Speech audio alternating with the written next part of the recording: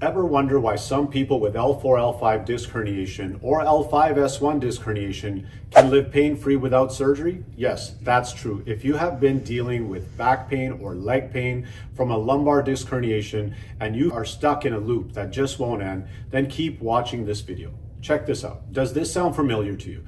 First, you try painkillers that seem to help for a while, but the pain always comes back. Then you deal with the unwanted side effects these pills can have on you. When you try injections for the pain, they might work at first, but the medicine soon wears off and you discover that they don't help at all. Does it feel like the only thing doctors suggest is surgery? Is that scary to you? What if you had surgery before and it just made things worse? Now, what are your options? It's like you're searching for something to finally stop the pain, but everything just brings more frustration and dead ends.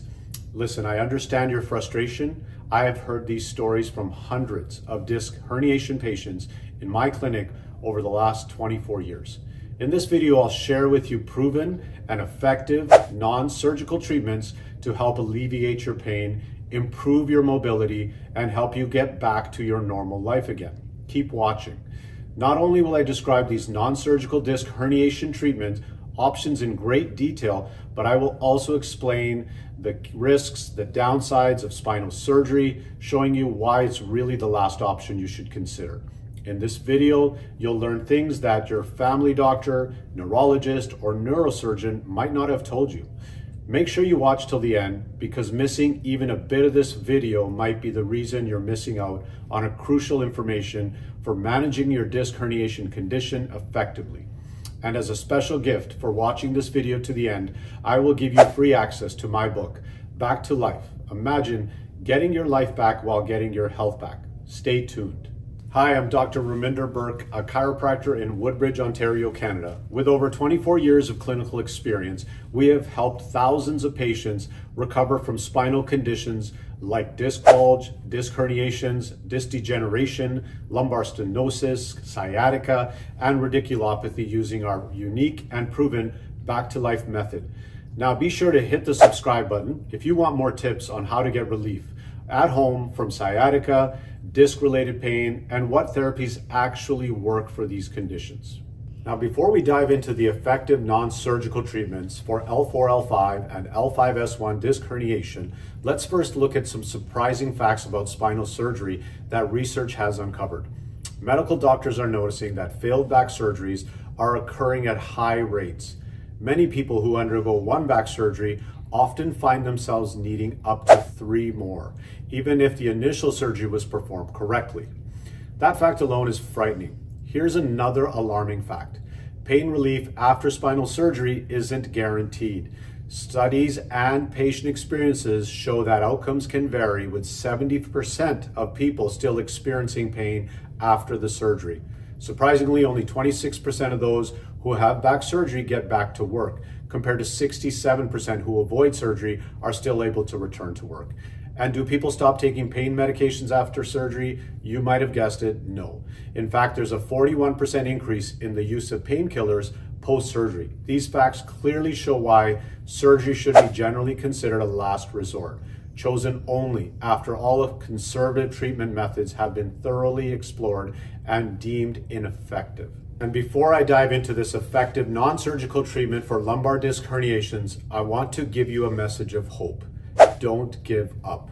I have seen and treated patients with severe and debilitating back and leg pain due to either an L4-L5 disc herniation or an L5-S1 disc herniation. We have helped hundreds of patients avoid surgery and return to their normal life again with our non-surgical methods. When I say there is hope, I mean it. The good news is that even though some studies point out the downsides of spinal surgery, there are many clinical studies proving that non-surgical treatments can be very successful. And that's what I'm going to dive into now. Our three prong back-to-life method of conservative, non-surgical treatment options that have been shown to be effective in treating lumbar disc herniations are one, specific postural correction through chiropractic care for realignment at the true cause of the problem. Secondly, the non-surgical spinal decompression therapy. And third, class four low intensity laser therapy. When these three are used together in a multimodal treatment program, that has been highly effective for hundreds of patients, just like yourself. So the most important component of this three-pronged approach is the chiropractic care. So as I explained in other videos, the most important reason that these discs have degenerated, bulged, herniations is because of alignment, right? So if we're looking at the cause being the alignment problem, subluxation, we want to get in and make those corrections before we do any other therapies or they're not going to last they're not going to be effective, they're not going to work properly and be long-term corrections. So as we correct subluxations, it's done on a chiropractic table. There's a variety of techniques, whether it's hands-on realignments of the pelvis and the spine determined by what area is degenerating uh, on x-rays or using handheld tools that get into areas of the spine gently to restore motion, right? We're gonna create motion and then we can do the other parts of treatment that create the effect that's long-term and corrects the disc problem from the cause. So that's the chiropractic care. Now the second component of the Back to Life method is the spinal decompression on this computerized table.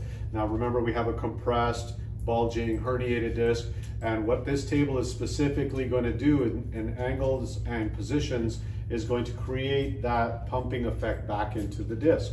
So as this has been compressed, the table gently, uh, over time, we build up the poundage, it's gonna pull the spine.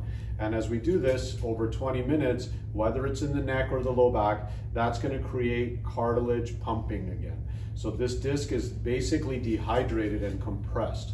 There's no fluid in here, and this table is gonna create that gradual pull, relaxations that bypass the muscles. So true decompression tables are specifically designed to reach the cartilage and the disc. We're not just pulling and holding, we're not having you hang upside down, we're actually creating a relaxation and getting past the muscles to get to the disc.